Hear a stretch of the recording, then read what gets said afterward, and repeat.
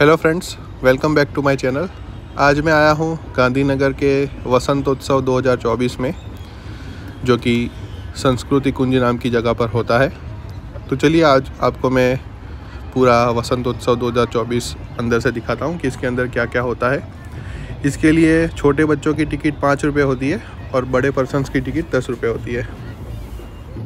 Ticket लेने के बाद जैसे ही आप अंदर आएँगे तो आप सामने देखेंगे कि बहुत ही खूबसूरत गाँव की स्टाइल में एक गेट बनाया हुआ है, संस्कृति कुंज का। यहाँ पे सामने सरस्वती माता की मूर्ति है और इस तरह से ढोल नगाड़ों से आपका स्वागत होगा और बहुत ही अच्छी लाइटिंग की हुई है, जहाँ पे आप बहुत अच्छे फ़ोटोग्राफ्स और वीडियोस बना सकते हैं। वसंत उत्सव वसंत पंचमी के दिन से शुरू होता है। तो गांधीनगर में ये शुरू हो चुका है और लगभग तेरह या चौदह तारीख से ये स्टार्ट हुआ है तो लगभग तेईस तारीख को ये ख़त्म होगा। तेईस फेब्रुआरी तक चलने वाला ये वसंत उत्सव है। वसंत उत्सव की टाइमिंग शाम को सात बजे से लेकर रात को दस, साढ़े दस बजे तक की होती है। तो आप इसी दरमियान यहाँ पे टिकट लेके एंटर कर सकते हैं।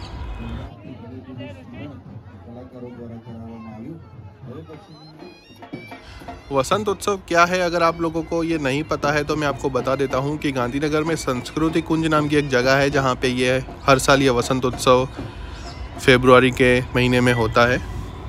तो जनरली इसमें भारत के सभी राज्यों का जो संस्कृति होती है, उसका आप एक झलक देख सकते हो।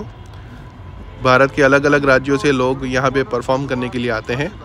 उसके अलावा यहाँ पे काफ़ी सारे स्टॉल्स लगते हैं जहाँ पे आप शॉपिंग कर सकते हैं। यहाँ पे बहुत सारी चीज़ें आप लोगों को मिल जाएँगी, जैसे कि हैंडीक्राफ्ट्स है, फिर कपड़े हैं, बच्चों के खिलौने हैं। ऐसी बहुत सारी एंटिक चीज़ें जो भारत के अलग अलग राज्यों से यहाँ पे ये स्टॉल्स लगते हैं। तो वो सब चीज़ें आप यहाँ पे ख़रीद सकते हैं। बेसिकली वही वसंतोत्सव है कि भारत के हर राज्य से यहाँ पे अलग अलग हैंडीक्राफ्ट के स्टॉल लगते हैं।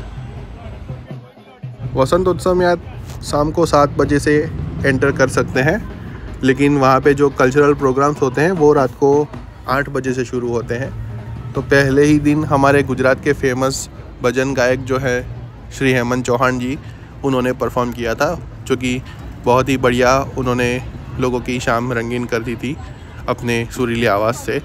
तो इसी तरह से हर रोज़ यहाँ पे गरबा का प्रोग्राम होता है या फिर दूसरे किसी स्टेट का, जैसे कि केरला का हो गया, कर्नाटक का हो गया, तमिलनाडु का हो गया तो सब अपना जो कल्चरल फोक डांस होता है वो यहाँ पे दिखाते हैं। तो वो सब देखना अगर आप लोगों को पसंद है तो आप ज़रूर संस्कृति कुंज में आ सकते हैं। उसके अलावा ये सारे शॉप्स में आप शॉपिंग भी कर सकते हैं। आपको बहुत सारी अच्छी अच्छी हैंडीक्राफ्ट आइटम्स यहाँ पे मिल जाएँगी। मेन बात यही है कि ये जो पूरा संस्कृति कुंज है, बहुत ही अच्छे तरीके से सजा, सजाया हुआ है। बहुत ही बेहतरीन लाइटिंग की गई है। आपको यहाँ पे अगर आप आओगे शाम के टाइम पे तो आपको बहुत ही ज़्यादा मज़ा आएगा। संस्कृति कुंज में एक बात का ध्यान रखिएगा कि अगर आपको चलने में तकलीफ़ है तो आपको यहाँ पे प्रॉब्लम हो सकती है, क्योंकि यहाँ पे चलना बहुत ज़्यादा पड़ेगा आपको। और उसके अलावा आपको अगर डस्ट एलर्जी है तो मास्क लगा कर आइएगा, क्योंकि यहाँ पे डस्ट की भी काफ़ी प्रॉब्लम है, क्योंकि शाम को काफ़ी भीड़ हो जाती है यहाँ पे।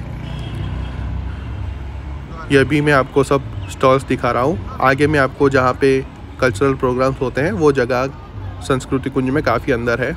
अभी आपको मैं वहाँ पर लेके चलता हूँ, वो भी दिखाऊँगा कि आज कौन सा वहाँ पे कल्चरल प्रोग्राम चल रहा है। कल्चरल प्रोग्राम जहाँ पे होता है, वहाँ पे बहुत ही बढ़िया ये स्टेज बनाया हुआ है और उसके आगे और पीछे दोनों साइड पे थिएटर के जैसा सीटिंग किया हुआ है तो वहाँ पे बहुत सारे लोग इकट्ठा होके प्रोग्राम को एंजॉय कर सकते हैं। जैसे कि आप देख सकते हैं कितनी भारी मात्रा में लोग यहाँ पर आए हुए हैं और ये अपने गुजरात का जो गरबा है, वो यहाँ पे पेश हो रहा है।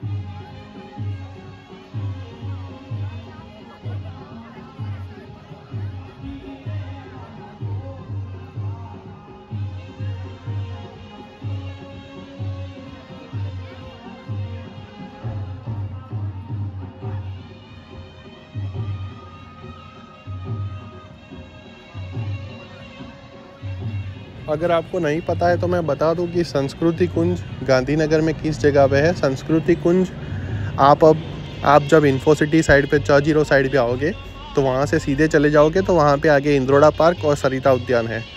तो सरिता उद्यान के पास में ही ये संस्कृति कुंज है और इसका पार्किंग भी सरिता उद्यान के बाहर ही आपको कार पार्किंग और बाइक पार्किंग मिल जाएगा। तो वहाँ पे पार्किंग करके आप 400 से 500 मीटर चल के संस्कृति कुंज में आप एंटर कर सकते हो। यहाँ पे आपको सभी तरह के स्टॉल्स मिल जाएँगे, जैसे कि अलग अलग राज्यों के हैंडीक्राफ्ट्स हो गए, फिर बर्तन के स्टॉल्स हो गए, कपड़ों के स्टॉल्स हो गए, फिर तलवार और कटार के अगर आप शौकीन हैं तो उसका भी स्टॉल आपको यहाँ पे मिल जाएगा। उसके अलावा सिटिंग फर्नीचर जो होता है, वो भी आपको यहाँ पे अच्छा मिल जाएगा। उसके अलावा बच्चों के खिलौने हो गए। फिर मिट्टी का सामान यहाँ पे सबसे बढ़िया मिलता है। मिट्टी के जो होम डेकोर आइटम्स होते हैं या फिर मिट्टी का घड़ा या फिर मिट्टी की जो पानी की बोतल होती है, वो सब आपको यहाँ पे बहुत बढ़िया मिल जाएगा।